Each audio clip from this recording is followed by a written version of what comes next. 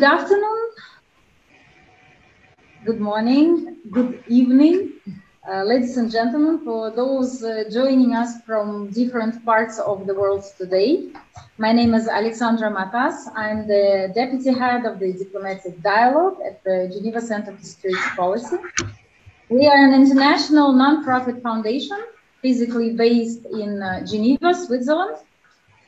Our foundation council is comprised of 53 states, including all the United Nations Security Council P5. We are impartial, independent, and inclusive, and the census mission is to promote peace and international security and to prepare and transform individuals and organizations so that they can create a safer world. And this is done on several, several parallel tracks through executive education, providing through providing platform for track 1.5 and track 2 dialogues, and through policy advice. So I'm pleased to welcome you all for this uh, hybrid event. We launched today the report on cooperative security entitled Restoring European Security from Managing Relations to Principled Cooperation. For the audience that we have physically here in the room, uh, you can uh, have the uh, paper copies uh, at the entrance to the room and my colleagues also will uh, share a link to the PDF document in the chat box. The Cooperative Security Initiative, or the CSI, was designed to generate ideas and shift momentum in favor of cooperative security and multilateralism in order to build a safer Europe.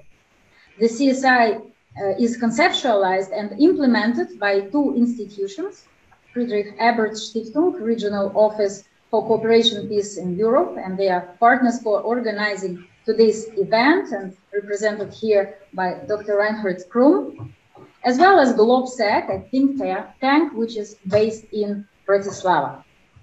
The report was drafted by several policy experts from across Europe and North America, and we're very honored to have the contributors to this report with us on the panel today, joining us physically, but also virtually uh, through uh, Zoom link.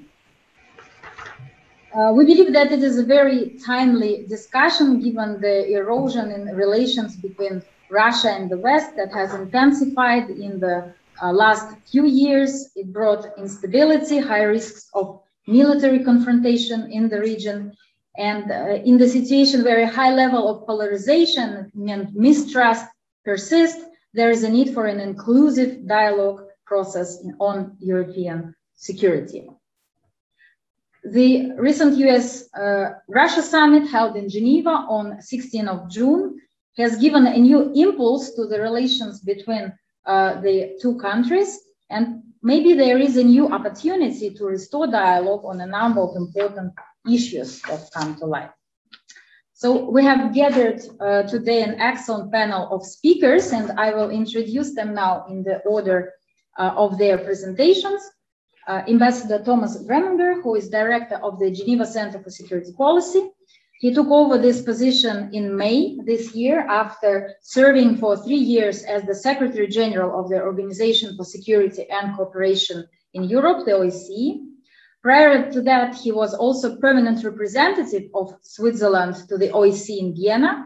And during the Swiss chairmanship in 2014, he chaired the OSCE Permanent Council where he played an active role in addressing the crisis in and around Ukraine. Ambassador Greminger has also been deputy director and head of the South Cooperation Department of the Swiss Agency for Development and Cooperation, the SDC.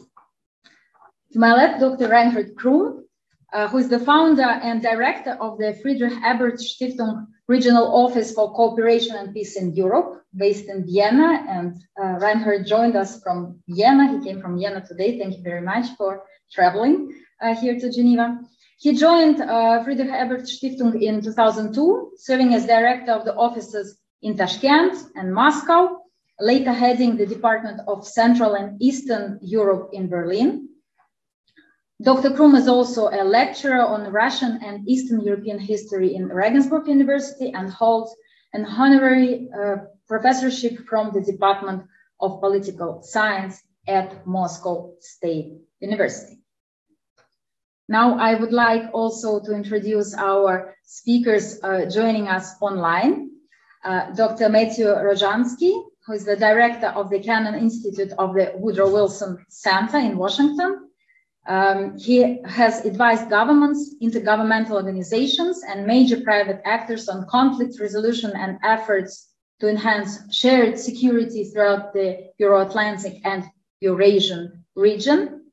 Previously, Dr. Rojansky was deputy director of the Russia and Eurasia program at the Carnegie Endowment for International Peace. And uh, as far as understood, Matt is joining us today from Vermont. And uh, thank you very much for being with us so early in the day. uh, our next speaker is joining us from Moscow uh, today, Dr. Andrei Kortunov, who is uh, the Director General of the Russian International Affairs Council, RIAC. It is a non-profit partnership established by the order of the President of the Russian Federation Previously, he was deputy director of the Institute of US and Canadian Studies of the Russian Academy of Sciences, and he's the founder and first president of the Moscow Public Science Foundation. And last but not least, Dr. Fred Tanner, uh, who is the research associate at the Center on Conflict Development and Peace Building at the Graduate Institute of International and Development Studies in Geneva. Uh, Fred uh, is usually based in Switzerland, but is joining us today from Vienna. Thank you very much for that, Fred. Uh, he's also associate fellow of the GCSP and was director of our center for seven years. Dr. Tanner has extensive work experience with the OSCE and served among other responsibilities as senior advisor to the Secretary General. And he currently serves on the advisory board of the Friedrich Ebert Stiftung Regional Office for Cooperation Peace in Europe. So now, before giving the floor to Ambassador Greminger for his opening remarks, just few housekeeping uh, rules. This is a public event, and you heard already that it is uh, being recorded. It will be recorded until the uh, Q&A session, then we will stop uh, recording. The link to this event will be afterwards available on YouTube and also on social media. After panelist presentation, we will be taking your questions. I will be collecting questions both from uh, uh, audience here and from uh, our audience joining online. Uh, I remind you for, uh, for the uh, Zoom audience to type your questions in the Q&A box, which is on the bottom of your screen, and you can uh, ask your questions already during the discussion, during the presentations, and my colleagues will help me to voice those questions afterwards. So on this, I, I wish us all a fruitful discussion, and I would like to give you the floor, Thomas, please. Thank you, Sasha. Uh, ladies and gentlemen, dear colleagues, uh, friends, welcome to the GCSP also on my behalf. Uh, Welcome to the launch of the Corporate Security Initiative report. Uh, we are doing it uh, in a hybrid format because the topic of cooperative security is too important to wait until the sanitary situation would again allow us to meet fully in, in person. The idea for this corporate Cooperative Security Initiative came up at a working breakfast I had with Andrei Kortunov uh, in fall 2017 when I visited Moscow for the first time as Secretary General of the OSCE. We brainstormed, brainstormed uh, on ways to make cooperative security again more mainstream in security policy thinking. We pondered different options and we uh, at the end favored a process, a track two a process that would be run by leading think tanks. It did then not take much to convince Reinhard Krumm to pick the idea up and to further develop it.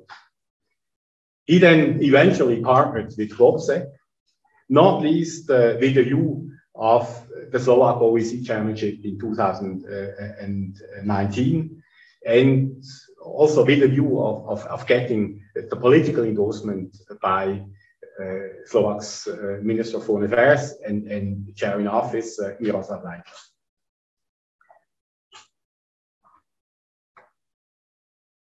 The Friedrich Ebert Foundation and GlobSec then together managed uh, to bring 18 absolutely outstanding think tanks and think tankers on board of the process.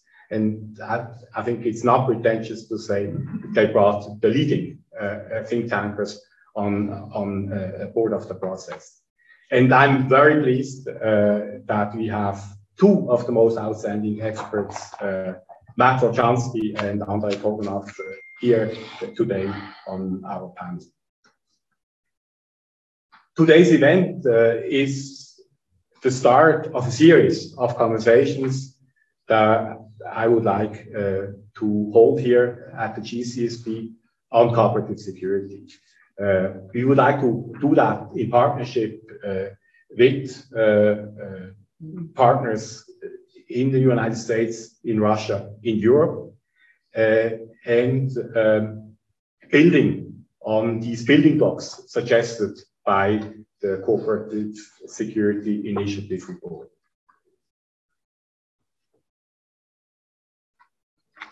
Cooperative security is not a new concept.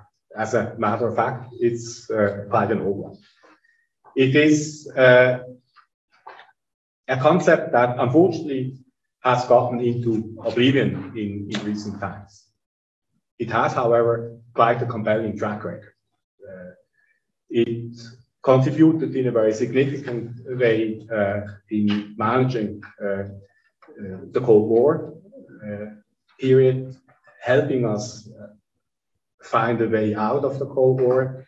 And it also provided us or at least contributed to providing us with relative peace and stability over much of the post-Cold War period. Cooperative security is uh, not rocket science. It's a relatively simple concept. Um, it basically implies that states work together in addressing uh, security threats.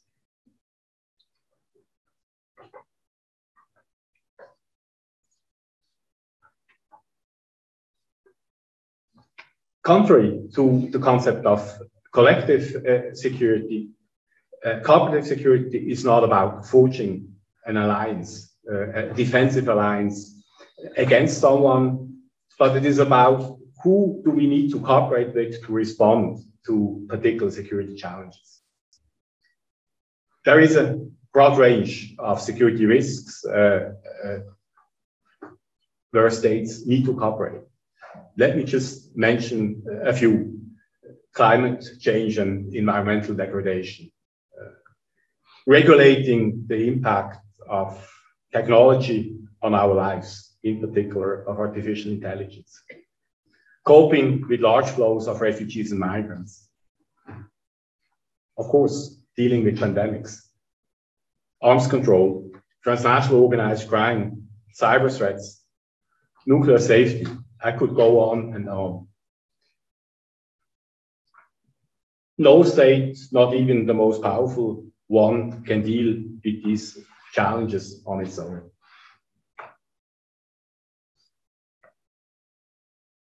On most of these issues, either there is a cooperative solution or there is no solution at all. Or as Antonio Guterres uh, put it a while ago, uh, I think a couple of years ago, uh, and I quote, in an interconnected world, it is time to recognize a simple truth. Solidarity is self-interest. End of quote. So cooperative security is uh, not an altruistic concept. It is uh, very much an interest-driven policy. At the heart is of cooperative security is conceptualizing security together. Uh, it encourages states to jointly identify and prevent threats rather than counter them through uh, deterrence or the use of force. It relies on a demonstration of restraint by all parties. It would privilege dialogue and, and conflict prevention. Cooperative security is uh, an interaction based on principles that have been agreed by the parties themselves. It is about good neighborly relations and uh, minimally a gradual move towards peaceful coexistence. And it's very much about sovereign equality by all parties involved. What does cooperative security require? It requires empathy, a considerable degree of empathy. Understanding that the other side may have a different history, may have a different culture, may have different perceptions, may have different interests, and wants to be treated with dignity and respect. At the core of the cooperative security toolbox is trust building, confidence building measures. That's uh, uh, at the very heart of it. Cooperative security is also very much about predictability and reciprocity. Now I will stop here and leave the floor to the real experts. Um, but before handing the floor uh, back to you, Sasha, I would like to uh, express my deep gratitude uh, to, to Reinhard, uh, uh, to Matt, and, and to uh, Andre for contributing to our discussion this afternoon. And at the same time, also express uh, my hope that you will uh, stay with our endeavor beyond this launching event today. With this, back to you, Sasha. Thank you. Thank you very much, Thomas, for for introducing to us the, the concept of uh, cooperative security, for providing the, the rationale and also explaining the, the, the, intention of, of our events uh, today. Now I will uh, turn to you, uh, Reinhard, and if I can ask you to uh, to present us report in more details, maybe you can talk about its methodology and also the scenarios developed in the report. Thanks. Happy to do that. Happy to see you all here, even though this is uh, a very special environment. I'm used to that. Um, and um, also to all the other participants outside Geneva. Thanks um, to the Geneva Center of Security Policy and all the staff. Personally, you, Thomas, of course, for having made this year possible. And clearly, it's not an accident that we're here. Uh, you mentioned this before um, that uh, Biden and Putin have met here, I think, exactly two weeks ago. They're concerned, and so are we. That, I think, is the underlying uh, reason why we started this CSI. And half jokingly, um, I think simultaneously after um, the two authors, Walter Kemp and me, or the editors, we met at a cafe and called it CSI, the Cafe Sperl Initiative. But really, it's the Cooperative Security Initiative. Um, who are we? We, that is 18 experts from the OSCE region, and you have a couple um, on the screen. Um, these are people who are concerned, and I'll come back to that, and who are, who are willing to initiate this. Now you can argue seriously another report. I mean, how many can we have? 85, 97, why another one? And that's why we started out with questions. You know, the, what is it, the 14 points of Woodrow Wilson, is it 14? So we thought, why don't we start with 18 questions? Because we don't know. We have an idea, but we don't really know. So we started out with 18 questions, made a survey among experts. 300 participate, You can argue 300. Well, is that that much? But 300 experts actually is not that, not that little. Um, so what I'm saying is this whole CSI is a process and it is multifaceted. Um, we had the experts, we met a couple of times. We also got the support, especially from Thomas Greminger, the Secretary General at the OSCE at the time, but also from uh, Mr. Lajčák, who was heading the OSCE in person in 1919, uh, 2019, Slovakia, um, and GlobSec.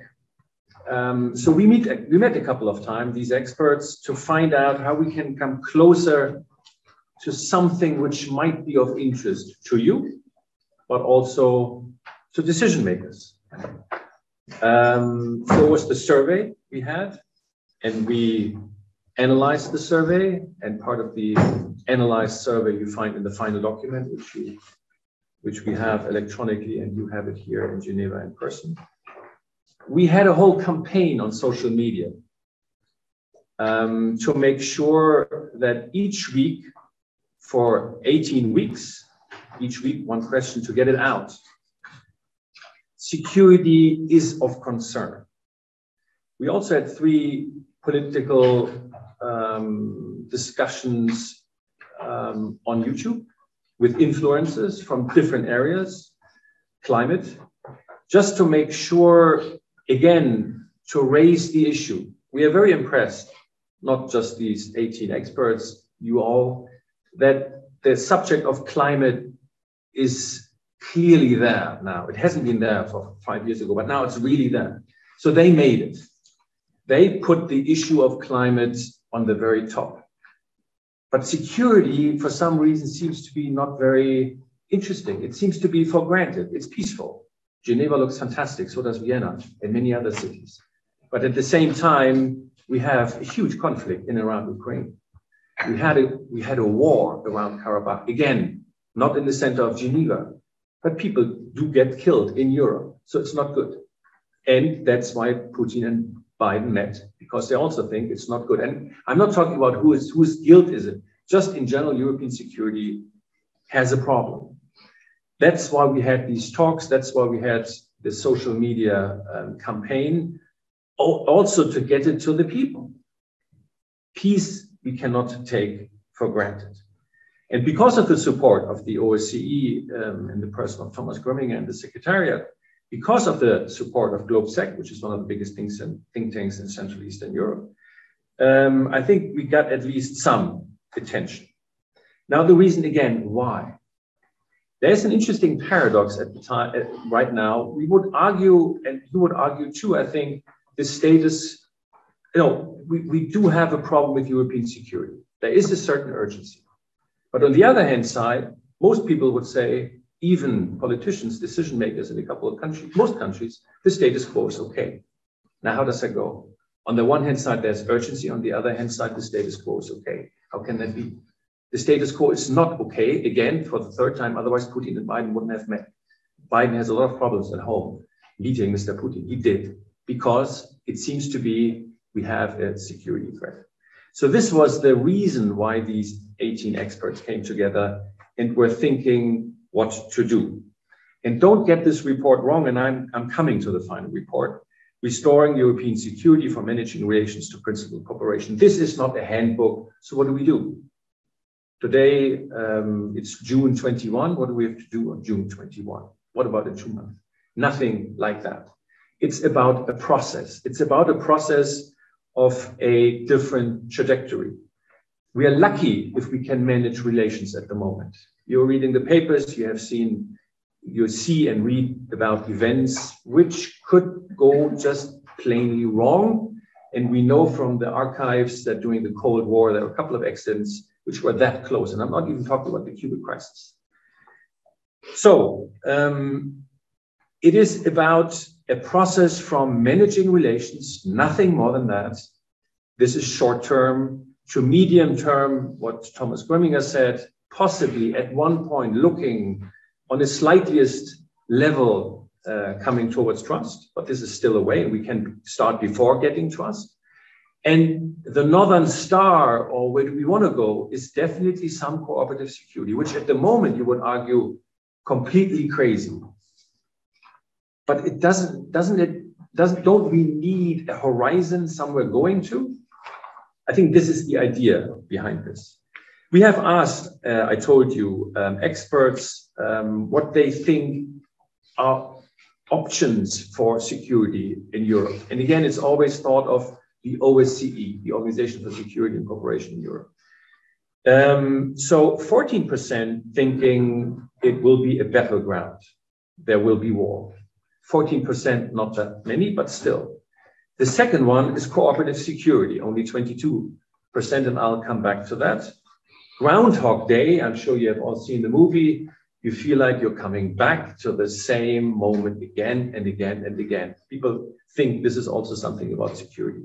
And 32% think stabilized Europe would be an option, possibly the best. And stabilized Europe means basically managing relations, and this is it. So we think cooperative security, even though only 22% support this, is actually where one should go. And um, again, as I have said, it's about short term. You can have the next slide if you want, and can um, can the, the, auditorium can look at it a bit. Yeah, I mean, we, as you can see, we put a lot of effort in the graphics. Uh, you can smile about this, but basically, it is about the bridge cooperative Europe. Battleground Europe is just hopelessly wrong. Groundhog Day is just a circle you go around and around. Stabilized Euro is not that bad and will hopefully join to cooperative security.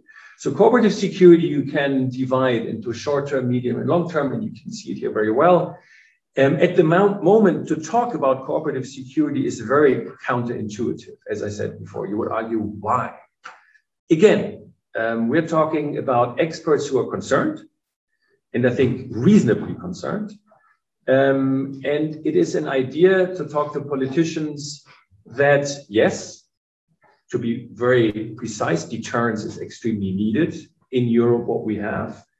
But the second pillar, you might call it conversation, dialogue, or even negotiating, is still there. Remember the Harmel report, 1967, commissioned by NATO? So the second pillar is there, but completely kind of degenerate, degenerate, degenerated, not, not really active at all. It's all about deterrence. And um, for us, for those who, who, wrote it for us, who uh, thought about it, um, we just don't want, and I'll almost finish here, and, and I'm using um, a, uh, a, title from a book I'm sure you have read. Uh, we don't want to end up like sleepwalkers, meaning you kind of see the signs, but it's kind of okay. And then we're sleepwalking towards something which we don't want. Again, we all 18 don't want to look as alarmists or possibly crazy or uh, we, need, we need another project. Um, no, this is not what it is. It is real concern, and I'm sure the other three will um, support this. And it's in a way a wake up call. And I will finish with one example. I'm sure you have heard it too, but I just want to repeat it. You could argue, why should we do anything now? We have the we have the uh, KSCE Final Act of Helsinki. Everybody signed it, the Soviet Union. We have the Paris Charter signed by the Soviet Union. You have even the Astana Declaration from 2010 signed by Russia. So why bother? Just let's come back to this and then we're all set. Well, somehow politics doesn't work that way. And if you argue, but there's no chance in hell that anybody will move now. Look at 1968 invasion of Czechoslovakia at the time. A couple of years later, the Helsinki process started. And you could argue at the time, why should we do this? And this was an extremely difficult way, and it was never straightforward. There were ups and downs and bumps and everything. But it came to something. And since we have a anniversary, 50 years of the Helsinki Final Act in 2025, one could, at least from a perspective of experts or scientists or academia say, why don't we use the years from 2021 to 2025 to come up with a couple of cornerstones concerning um, de-escalation, concerning managing relations. Why don't we celebrate 2025, not just was great what we did in 1975, but rather it's great that we have a new starting point to make Europe more secure. Thank you. Thank you. Thank you very much, Reinhard, uh, for this comprehensive overview uh, for for explaining to us uh, the the involvement of the experts, the involvement of the public, uh, the methodology, but also the scenarios and the building blocks. Uh, I also very grateful for you that you you draw some uh, historical parallels that uh, I think help us very much to understand the, the, current situation too. Uh, now I, I, would like uh, uh, to give the floor right away to Dr. Matt Rojansky. Matt, can we ask you to address the US perspective on cooperative security and how could we translate the concepts to make the US audience responsive to that? Matt, please. Thank you. Okay. Thank you very much, Alexandra. Um, this is actually the first time that I'm addressing a, a, fully hybrid event of this kind where I can see the audience members, albeit with masks and in kind of a strange fishbowl shape. Um, for me, this is actually normal. Normal is to be in a box with a pretend background. I hope mine is very convincing. If you didn't see these pretend books, you would see probably real dirty laundry uh, in my bedroom. But uh, this is our reality and uh, I'm I'm happy to have the opportunity. And of course, I'm very grateful, Thomas, to you and to GCSP. I hope to be able to visit you in Geneva in the future. Uh, to my my dear friend Reinhard and FES uh, and to GlobSec, uh, all of the partners that made this initiative possible. And it's always fun to to share the stage with Andre. We we tend to see the world in many of the same ways, and I think that that uh, tends to put us at odds with a great many of our colleagues in both Moscow and Washington. Um, that's also probably testament to our current reality. Um, I've been asked, as Alexandra said, to provide the US perspective on this report and on cooperative security. And of course, the answer is there is no US perspective. Um, and I certainly can't provide the US government's view, uh, even though that's my employer. I can only speak for myself uh, and uh, from the perspective of one American scholar who, who watches these issues and works on these issues. Uh, but I can give you my own assessment of the report and my sense of how uh, the goals and the recommendations track with US policy as it is right now and the US national interest, uh, which is, of course, my focus. Uh, this, though, the US perspective and, and really more specifically the, the US Russia dimension is, is only one of the pillars, one of the supports that's needed to underpin this bridge, uh, to use the, the beautiful graphical metaphor, um, al- although a very busy graphical meta- metaphor to the future of European security. Um, for us in the United States, uh, in the wake of a recent uh, tragedy in the state of Florida, where uh, a not particularly old apartment building collapsed completely uh, due to its uh, structural deficiencies, we are engaged in a very intense debate about what we're willing to spend on rebuilding infrastructure. And that really is a metaphor for the challenge that we face now.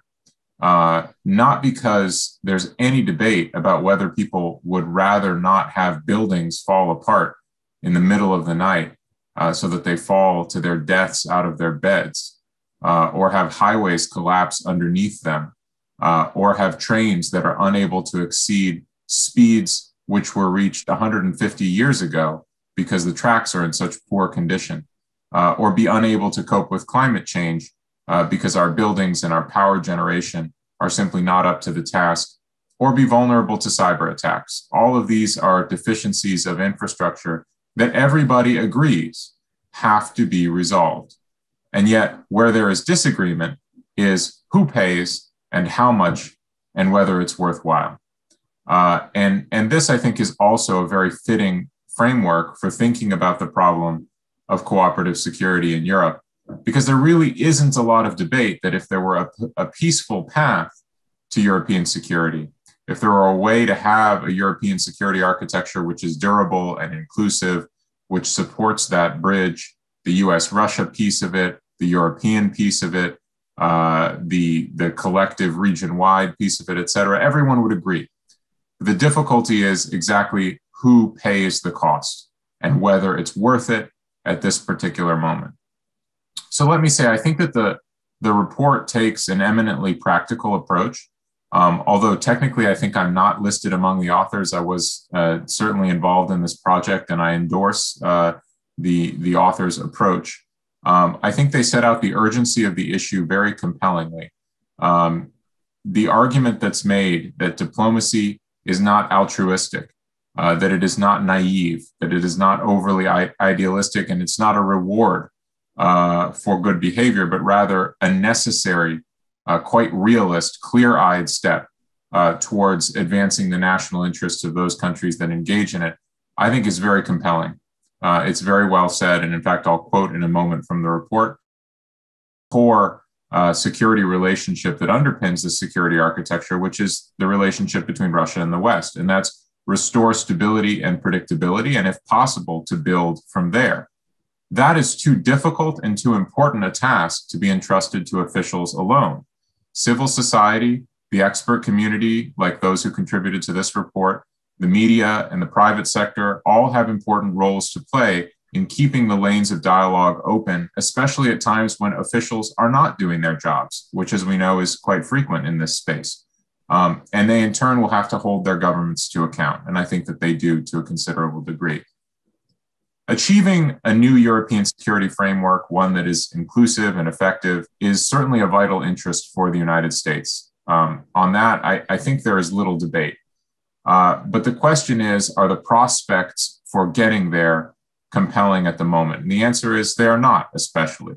Um, they're probably marginally better in the wake of what happened in Geneva two weeks ago. I'm talking about the summit between Presidents Biden and Putin. And it is indeed fitting. Um, how fortunate for us that, that Thomas can host us virtually or, or physically in Geneva. Um, but it is also a reminder of a time past, some 35 years ago, when Presidents Reagan and Gorbachev met in Geneva at the height of what was then the Cold War between the United States and the Soviet Union and our allies. Um, we know what happened after that. We know what came before that. And we're living with the consequences of both of them now. Uh, as argued in a book written by uh, a colleague of mine, a former Wilson Center fellow, former ambassador uh, and OSCE high representative in Moldova, Dr. William Hill, uh, who is actually quoted in, in the CSI report as well.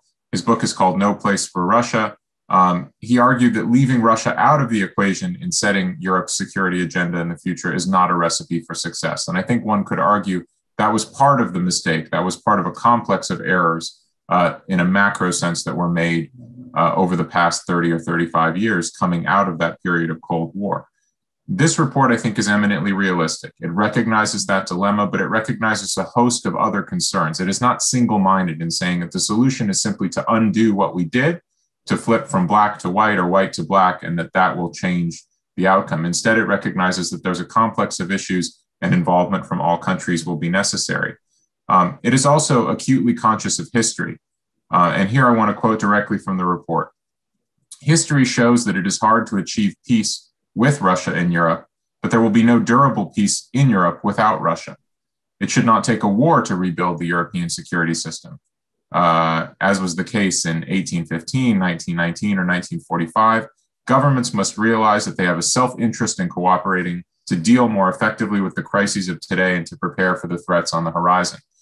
Let me simply point out that it is not that wars necessarily guarantee a realignment of the security system that will be favorable for states. After all, we have had wars since 1945 without improvement in the European security architecture. I would argue that the most recent war uh, or wars that we are dealing with in the European theater, Ukraine, uh, Nagorno Karabakh, which is heated up again, uh, these wars have, if anything, eroded the framework for European cooperative security. Uh, and so wars guarantee nothing. And yet, on the other hand, in cases where we have managed uh, by luck, by sheer accident, to escape that framework of war and crisis leading to a necessary realignment. For example, the Charter of Paris of 1990, uh, we have found that those frameworks are not necessarily enduring, that they don't necessarily take into account the core interests of the states involved. So, where do we start from now, and how do we do a more effective job of taking those interests into account and forging a cooperative security arrangement in Europe? Um, if you think about the way President Biden is approaching the challenge, uh, I think his idea of keeping expectations low and pursuing first stability and predictability as a basis on which to build is the right approach.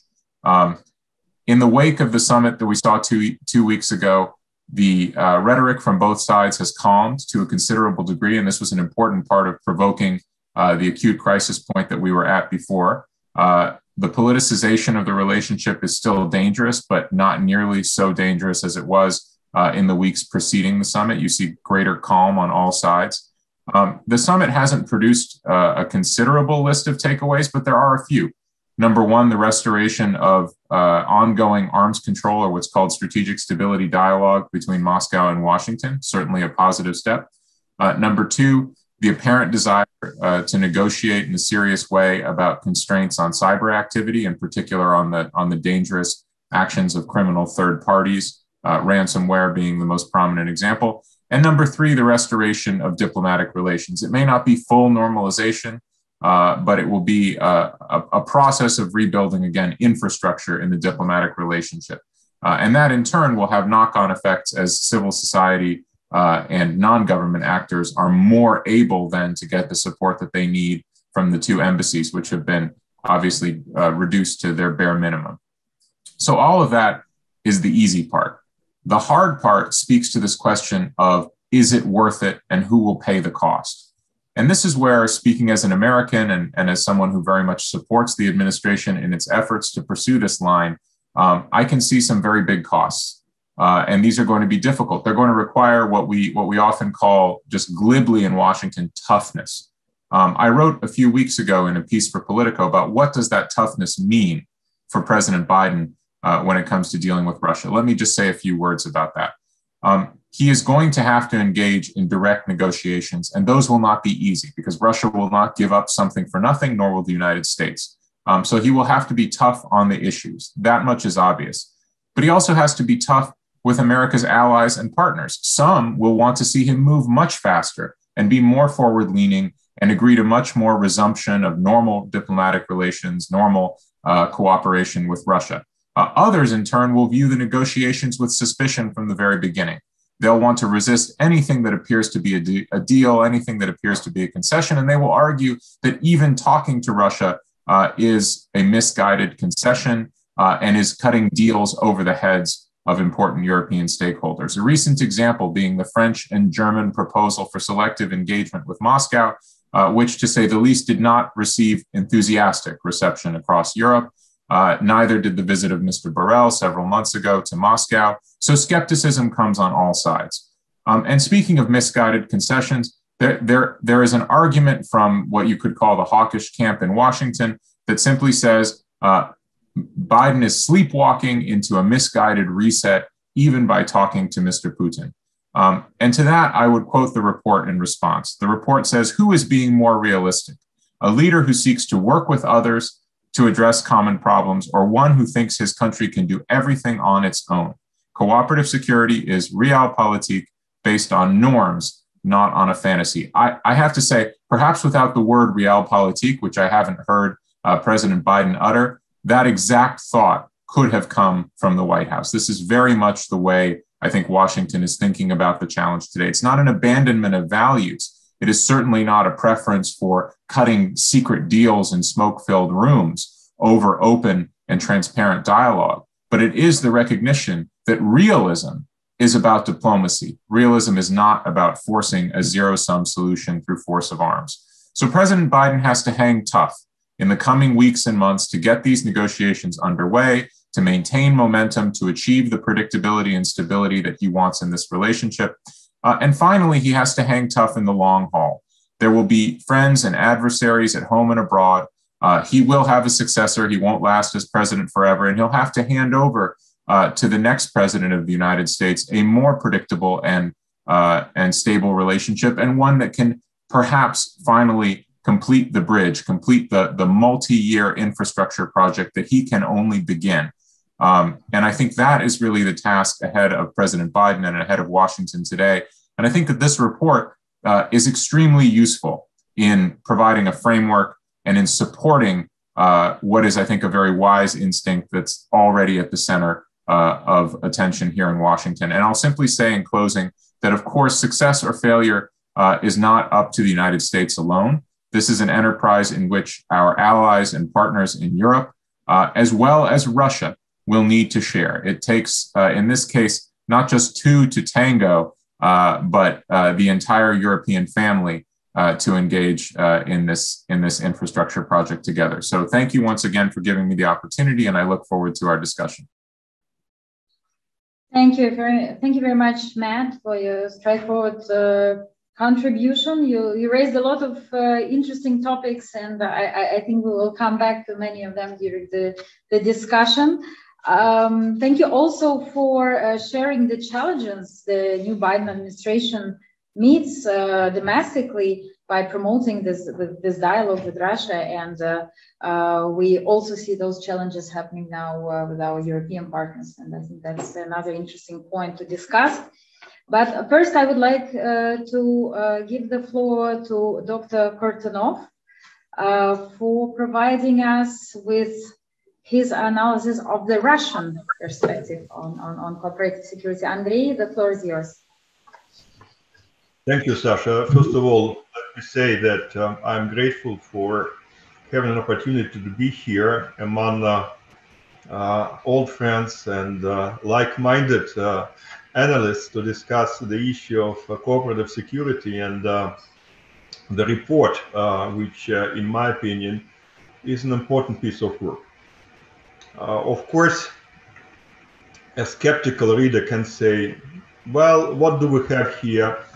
Uh, we have another uh, group of uh, very naive people who stand for everything good against everything bad.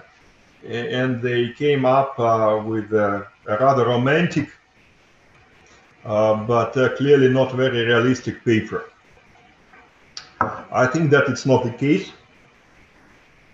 And I think that uh, one of the major advantages of uh, this report was that uh, the group of authors and contributors behind the report was a very diverse group. Uh, we had not just uh, people uh, whom I can subscribe to any point that they make, Uh, but uh, we had uh, participants coming from Central European states and uh, from the Baltic region. Uh, and uh, I think that the institutional engagement of GlobSec is also very indicative. I have to tell you that I participated in the last GlobSec conference just, I, I, don't think, maybe a week or two weeks ago. And I can tell you that uh, GlobSec uh, is not uh, a very soft institution as far as Russia is concerned. Uh, however, this uh, representation suggests uh, that uh, what we propose uh, is not uh, just a marginal viewpoint. it's not something that can be easily ignored as having nothing to do with the political reality. this is something that, in my opinion, deserves consideration and further development. Uh, when I uh, had a chance uh, to discuss the report with some of my counterparts here in Moscow, uh, I received uh, a couple of lines of criticism of the report, and uh, let me outline them in a very short way. First of all, of course, the report is accused of being superficial. Why didn't you touch a particular issue in more detail, why didn't you focus on climate or, or on the challenge of the pandemic or on sub-regional matters that uh, clearly are very important uh, and uh, might grow in the importance in future. I had to explain that uh, the report is not a roadmap. Uh, it didn't have an intention to provide a specific schedule for approaching particular security challenges that we have in Europe. Uh, but uh, rather, the intention was uh, to define the approach uh, that could be used in analyzing more specific issues and more concrete challenges.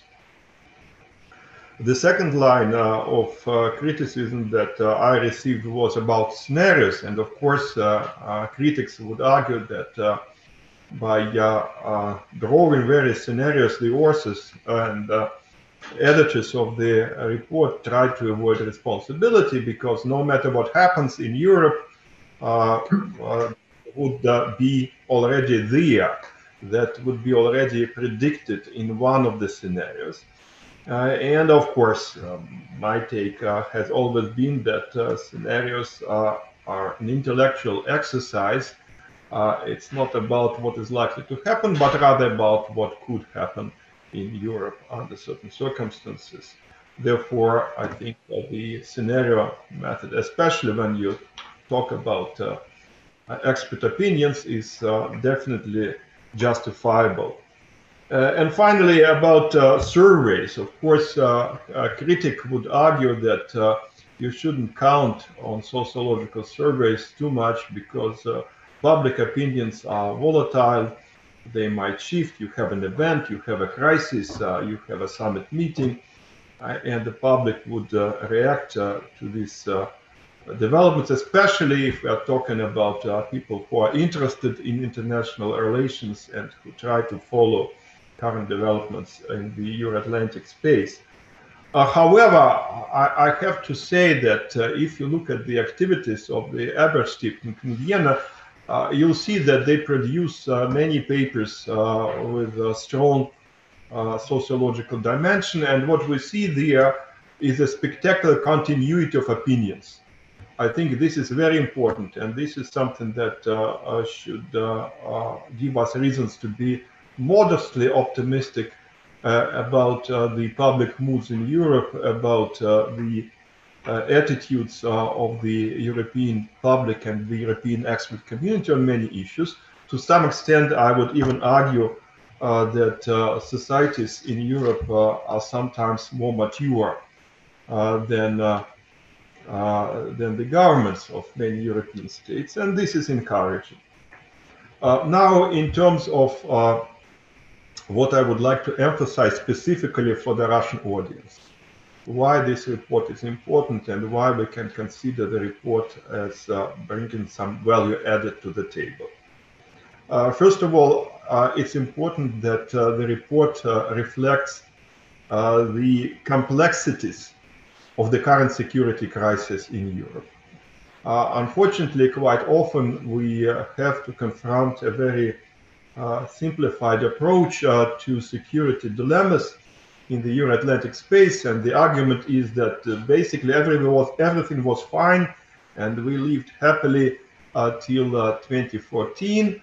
Uh, and in the beginning of 2014, uh, one crazy guy in Moscow somehow decided to destroy the European security system uh, for reasons which remain unknown because no rational reason can explain this decision uh, and the readiness to take the repercussions uh, of the 2014 crisis.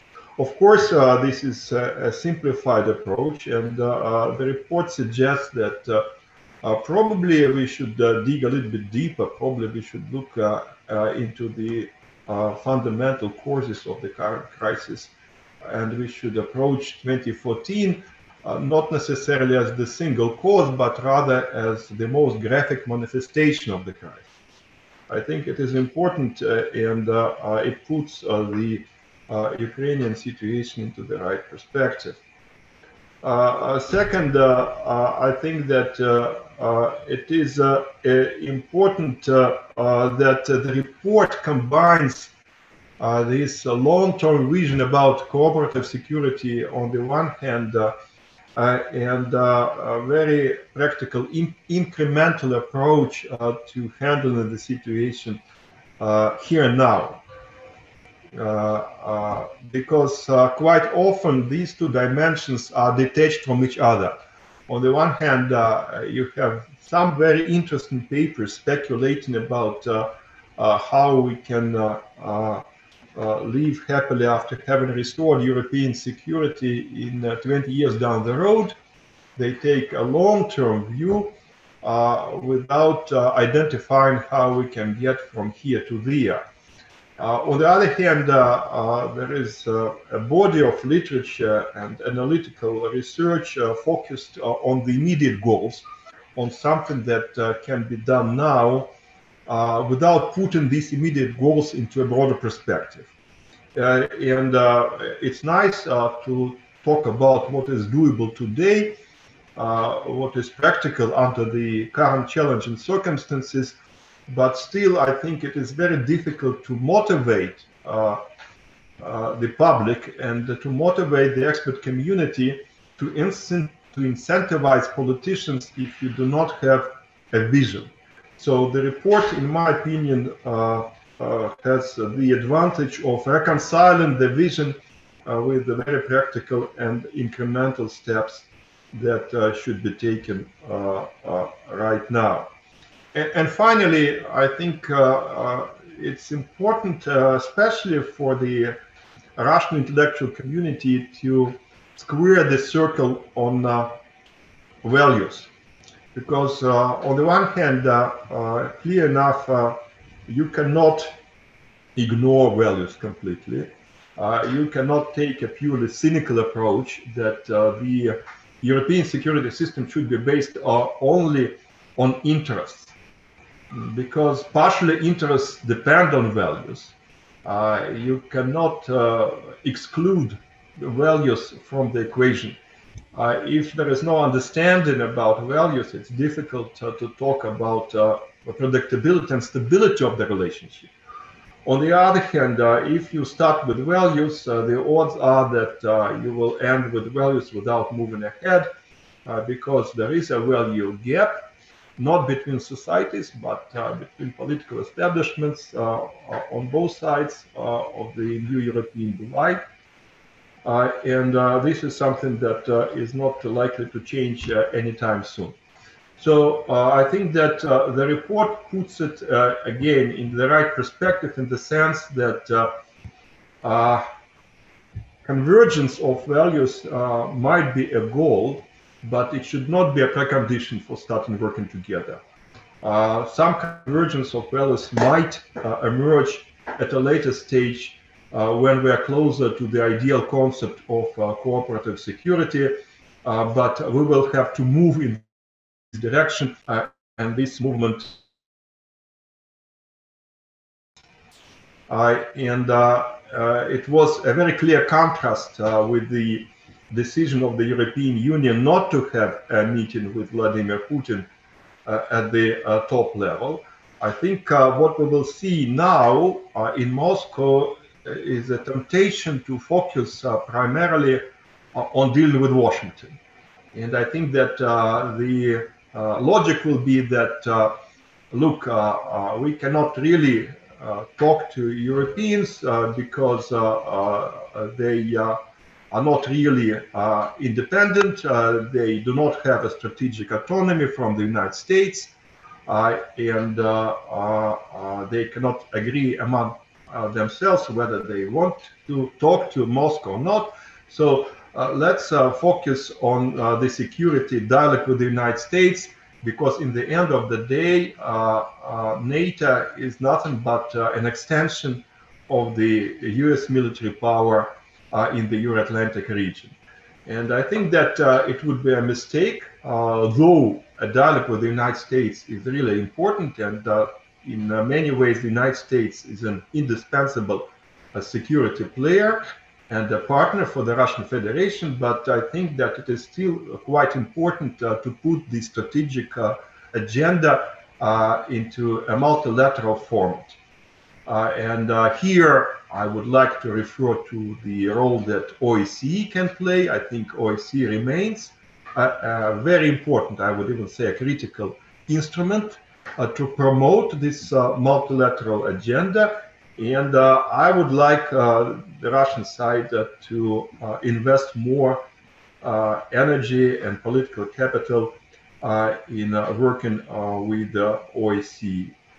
Uh, second, I'm uh, concerned about potential cherry picking uh, from the Russian side, because indeed, uh, since there is no unity in the European Union, there will be temptation to focus uh, primarily on relations with specific member states, to work with Paris, to work with Rome, uh, to work with Berlin. Of course, working with Berlin will largely depend on the outcome of the next parliamentary elections in Germany.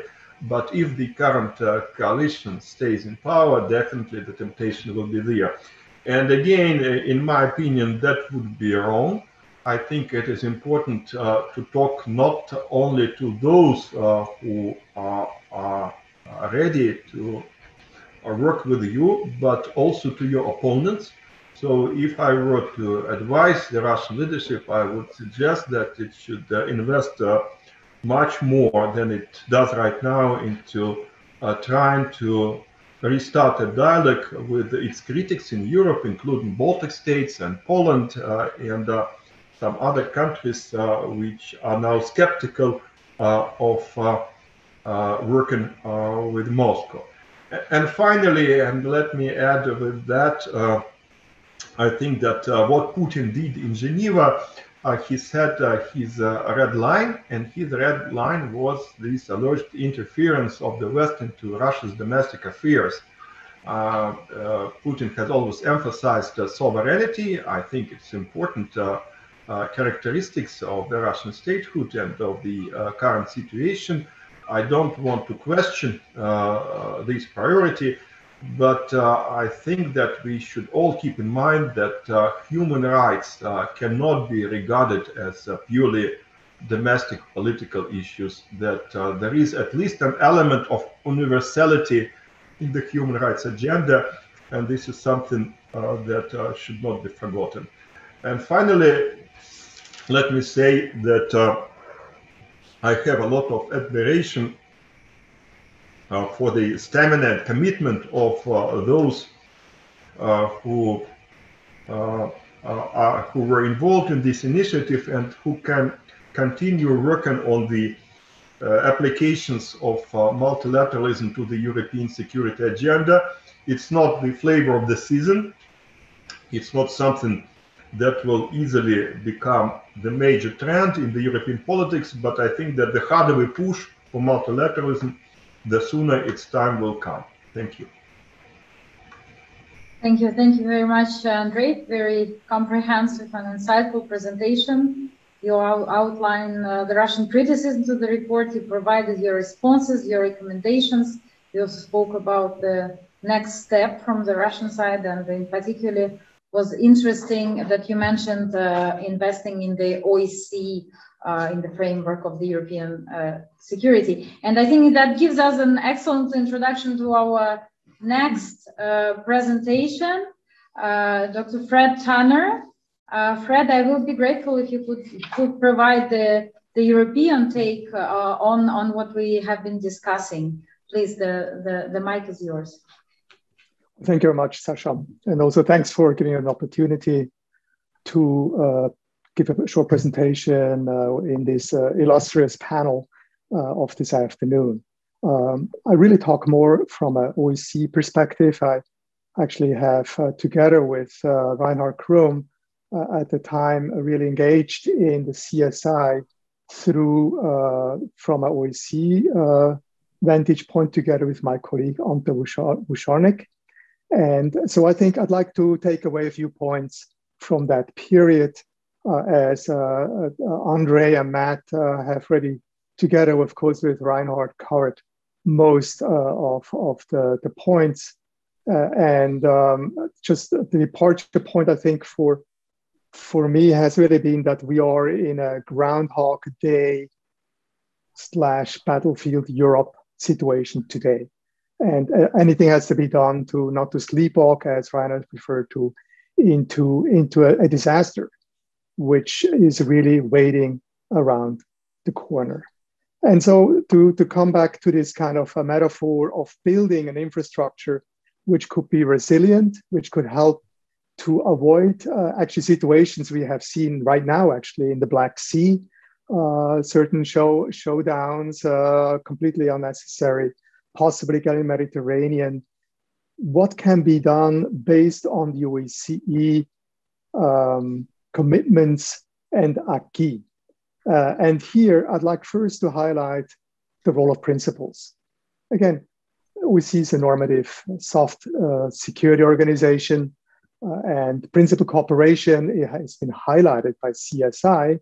And of course, here we need to refer to the Helsinki Final Act, um, and uh, with the recommendation to have uh, very soon, in about four years, a kind of summit meeting, a high level meeting where there would be an opportunity to restore and to kind of recommit to principal cooperation. It really has the assumption that right now, and, and I would make this argument, there's no consensus on actually what underlying principles there are for security cooperation in Europe. I just read yesterday a very interesting article by Foreign Minister Lavrov, a kind of longish article on law and rules. And, and he made some interesting points about how the same word translated has different meanings, meanings and can really lead to a lot of misunderstandings. Uh, and, and here I think uh, it's important that work is, is being done. He, by the way, forgot to mention one important uh, principle of the Helsinki Final Act, namely the inviolability of frontiers uh, and respect of human rights. Um, but then, of course, developed more from a almost an academic uh, side, uh, an interesting uh, arguments. Now, in addition to the necessity to review how to agree on the principles and better understand them, have a kind of common sense, a shared sense of what the principles are and how to live up to them, is uh, the uh, other building block of the OSCE is, uh, of course, the confidence building measures. It's a very strong acquis. I mean, the acquis has been much stronger in the past. There has been the CFE, the, the, the Conventional Force in Europe Agreement, the Open Skies Agreement, and the Vienna document, uh, the trilogy, basically. And now there is only the Vienna document left. Actually, two weeks ago at the NATO summit, there was a lot of attention paid to this Vienna document because NATO realized too, it's the only kid in town, if I could say so. Right now, it's the only agreement left, multilateral agreement left on military risk reduction and transparency building measures in Europe. Not to forget that all 30 NATO member states are, of course, also participating states in the OSCE. And they try now to push certain agendas with regard to the Vienna document through, of course, through the OSCE. One, one recommendation which was uh, which came out of the summit uh, communique of, of the NATO meeting was a request to agree on modernization of the Vienna document in Stockholm at the Ministerial Council meeting, which is coming up in December of this year.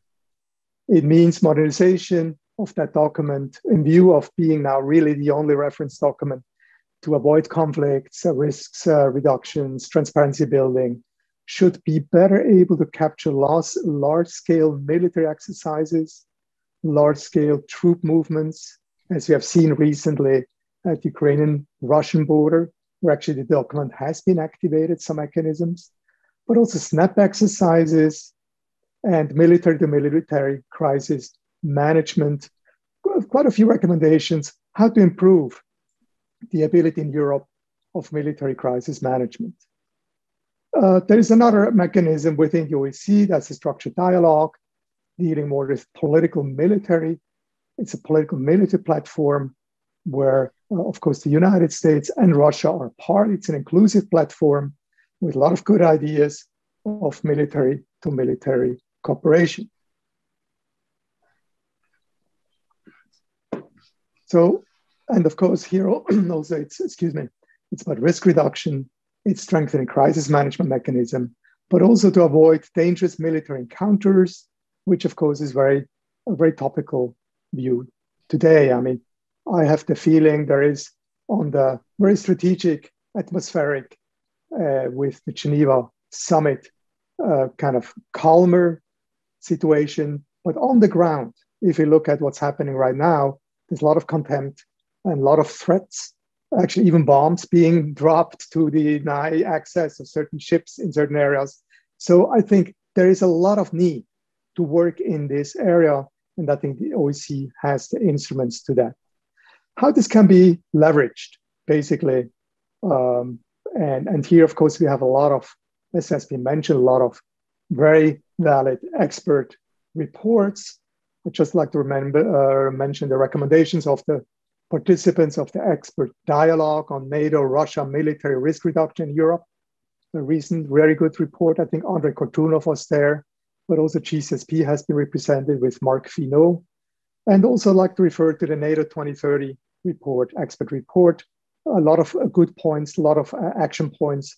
It also recommends to return to the dual track, kind of like Harmel type of cooperation with Russia. Unfortunately, the NATO summit itself did not really pick up that language. Then it needs to be broadened. I think uh, Matt made that point already. Um, we cannot leave this kind of process to diplomats only include primarily parliamentarians, young people, civil society, the private sector too, and think tanks as well as media. And finally, I think we need to, and we built this kind of nice buildings. Uh, the graphs are really fantastic, uh, Reinhard, in this CSI uh, report, how to uh, how to navigate around the mines and the little minefields which exist and the spoilers which are waiting out there. And I think I'd just like to uh, identify two important areas. One is the, we need a better understanding of national narratives. There's so many different narratives floating around today. I just saw one actually by President Putin, who wrote an article in Die Zeit, which was published afterwards in English language too. He talks with regard to Belarus about a coup attempt, attempt by the West.